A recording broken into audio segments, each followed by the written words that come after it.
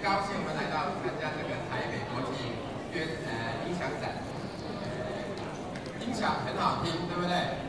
对。我们交响乐团也很好听。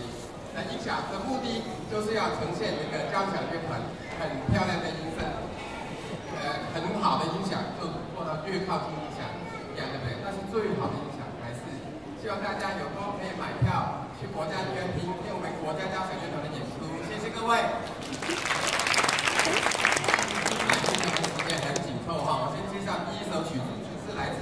法国作曲叫 Paul Lucas，他写的《La Paris》专为铜管乐写的一个序曲，希望你们喜欢，喜欢，谢谢。